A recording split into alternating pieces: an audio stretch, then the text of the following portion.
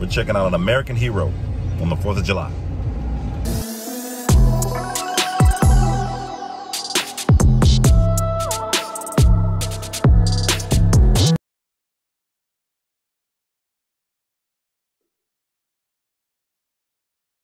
Happy 4th of July, everybody. What up? Welcome back to my channel. It's Kerry Jermaine Wooten, and today is a pretty special day. It's July 4th, 2022. And today's the day I turned 48 years young. And I'm doing something a little bit different today. I am going to pay my respects to someone who made a huge impact on my childhood. Me turning 48 today, kind of reflecting back on all the years of life, beautiful childhood. Paying respect to someone that I admired as a kid, young kid, growing up in North Carolina. This man a great American, played for a team that was considered America's team. We're talking about Mr. Frederick Curly Neal. Curly played for the Harlem Globetrotters.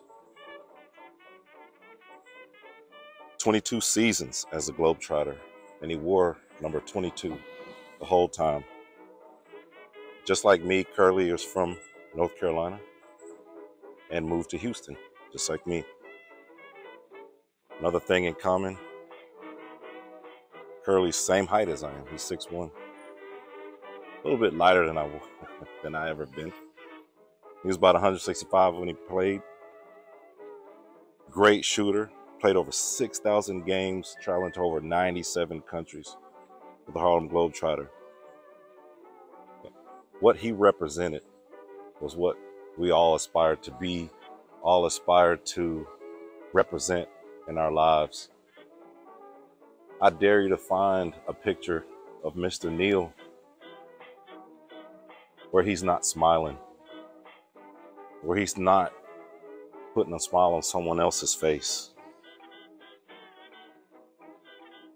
He played with the Trotters from 63 to, if I'm not mistaken, to 1985. Was an awesome ball handler and shooter. But he was known for that ball head, just like me. And most of us can only wish to be as eloquent of a human being as he seemed to be. I remember him from Scooby Doo. The Harlem Globetrotters actually had their own animated, their own cartoon at one point.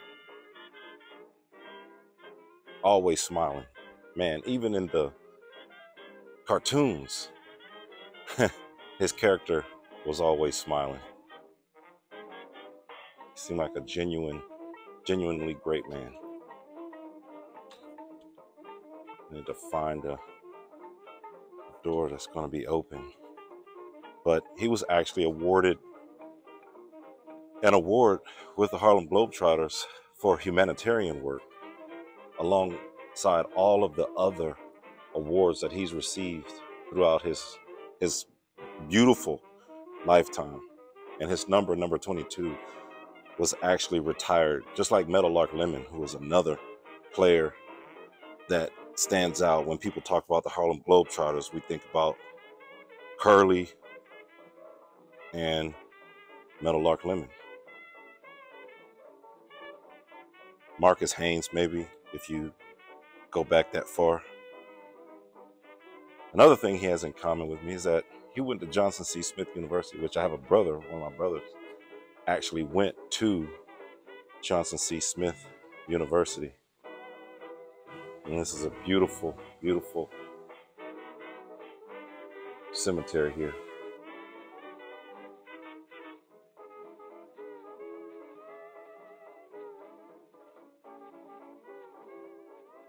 I think this door is locked.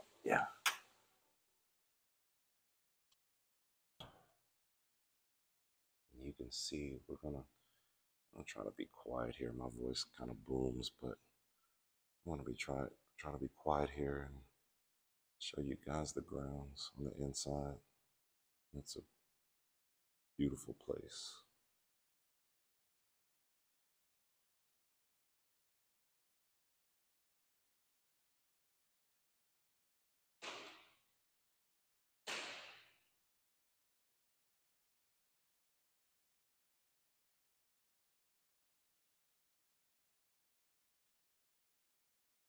Curly actually moved here to Houston, where he passed away.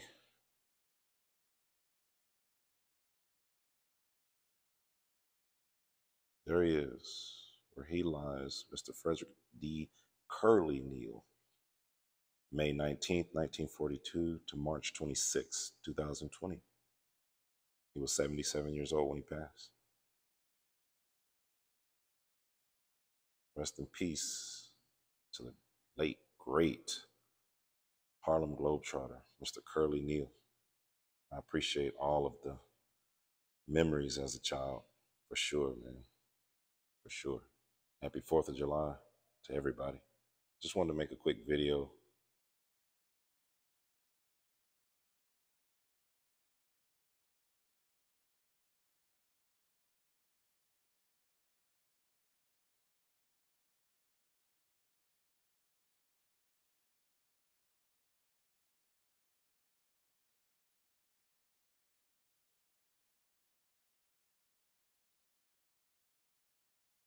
All right. Thanks, guys, for stopping by.